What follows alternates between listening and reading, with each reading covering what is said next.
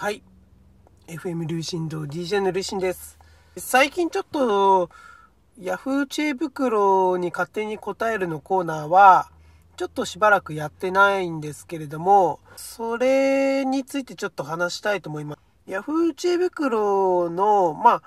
いろいろ最近いろんな質問は眺めてはいるんですけれども、えっ、と、ちょっとその僕がこのデジオの中で扱いたい話題にちょっとたどり着いてないっていうのが原因です。で、これどういうことかっていうと、なんていうのかな、ほとんど同じような質問のパターンの場合ですね、また同じような答えになってしまうので、そうすると、ちょっとやる意味が薄いかなって思ってまして、まあそういうふうに思ってるので、ちょっとその、あの、なるべく答えたことがないようなパターンのね、質問が出てきた時にまたピックアップして、えっと、お話、お話というかその質問に勝手に答えるっていうのをやっていきたいなと思っています。それで、あの、具体的な質問があるわけではないんですけれども、えっと、まあちょっと最近、あの、いろいろな質問を見てる中で、まあ、気になったことについてちょっとお話しさせてもらいたいと思います。まあこれよくある質問、あの質問のパターンとしてあるんですけれども、まあ特に中学、高校ぐらいの年齢の子がよく思っている、疑問に思っていることだったり、不登校になる子が、まあ割と似たようなパターンの質問が多いんですけれども、なんで勉強するのかわからない。えーなんで学校に行って勉強するのかがよくわからない。意味がわからない。えー、意味がわからないっていう意見だったり、また、その、今ね、勉強してることが将来役に立つとは思えないっていうようなことを言うんですよ。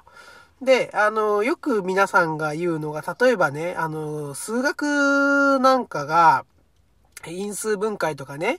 そういうのがね、将来その社会に出た時に役に立つとは思えないっていうようなことを言うんですよ。で、僕ね、まずここの考え方が、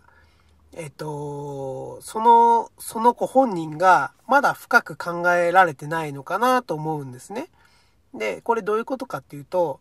あの、例えば不登校になる子だったり、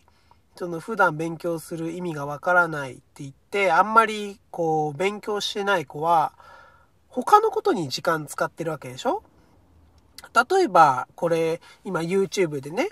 あの、FM 流進度やってるので、普段 YouTube 見るのが趣味です。趣味ですっていうか好きで、よあの、一日何時間も見ちゃうっていう人いるかもしれない。また YouTube じゃなくても、あの、インターネットが趣味ですとかね、テレビが、えテレビ見ると長く見ちゃうとか、ドラマ見ちゃうとか、えっ、ー、と、インターネットをやり出すと止まらなくなっちゃうとか、ゲームが好きとか、漫画が好きとか、音楽が好きとか、いろんなね、皆さん趣味を持ってると思いますね。思って、あ持ってると思うんですよ。好きな、趣味というか、まあ趣味でもいいし、好きなことだったり、何かこう、こういうのが好きっていうことで時間使ってると思うんですよ。あの、普段あんまり勉強しない人はね。じゃあ、あの、もう一回冷静に考えてみて、みてください。じゃああなたが、その普段見てる YouTube のあの、有名な YouTuber さんの番組とかね、チャンネルありますよね。それ見てあなた将来何の役に立つんですか？じゃあ別の例で言いますよ。音楽好きな人がいます。誰か好きなアーティストがいてライブに行ったりね、追っかけやってたりしますよ。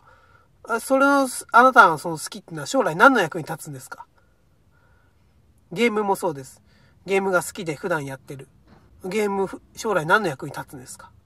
もうこの質問した時に、あの、頭のいい方はもう気づく、気づいていると思うんですけれども、人生の中では、あの、直接、直接生活とかね、将来、あの、つく仕事の役に立たないようなことがいっぱいあるんですよ。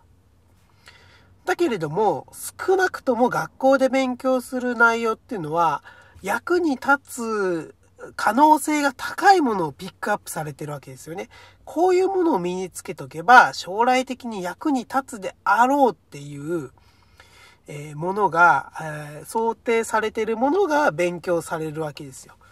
翻って考えてみると、学校以外での勉強っていうのももちろんものすごく大事なんです。だけれども、人によってつく職業、将来的につく職業も違うし、将来の進路が違うわけですから、えー、本当に、あの、夢をね、夢を叶えるために努力できる人はいいんです。それだけの鉄の意志というかね、決して諦めない心を持ってて、もう何があっても、どんな障害があっても諦めない。っていう人がもしいたら、その自分の将来なりたい仕事になるために必要な知識とスキル、経験を積んで、えー、毎日勉強すればいいんですよ。でもそういう人がほとんどじゃないでしょ？えー、大体の人はやっぱり怠け者ですよ。多くの人は。多くの人は怠け者です。それで何かと理由をつけて、サボりたがるんですよ。だから勉強なんか何の役に立つのかわかんないっていうふうに、まあ、どちらかというと、まあ、それらしい、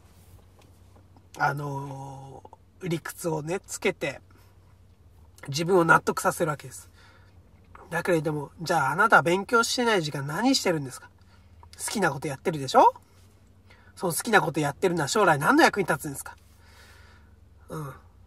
そういうことなんですよ。で、僕自身はね、あの、個人的に思うことなんですけれども、僕は人間が生きていく上で自分の好きなものを持ってる、好きなことを、趣味を持ってるとか生きがいになるものを持ってるっていうことはものすごく大事なことだと思ってるんですよ。あの、生きがいもない、えー、趣味もない、好きなこともない。そういう人はね、やっぱり、あのー、僕は、何て言うのかな、充実してないと思うんですよ、その人の人生が。だから好きなことは一生懸命ややったらいいと思う。だけれども、好きなことをやりながらも、必要と、必要とすべきスキル、知識、経験、こういうのを、えー、学校にいるうちに勉強して身につけるってことが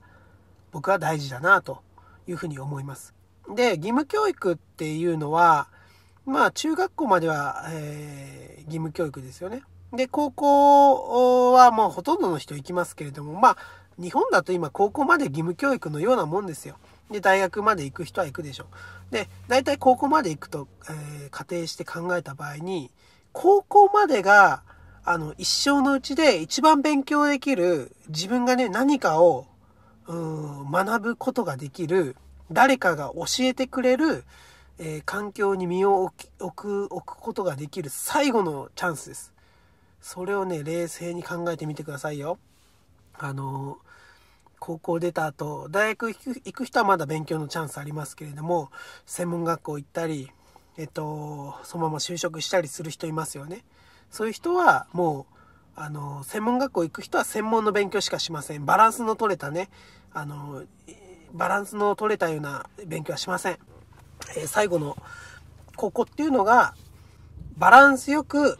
総合的に勉強できる最後のチャンスなんですよ。大学行かない人はね。で、えっ、と、またもう一つこういうことも言って、あ、ちょっと時間来ちゃったから、もう一回、あの、もう一夜持って話させてもらいたいと思います。えー、ありがとうございました。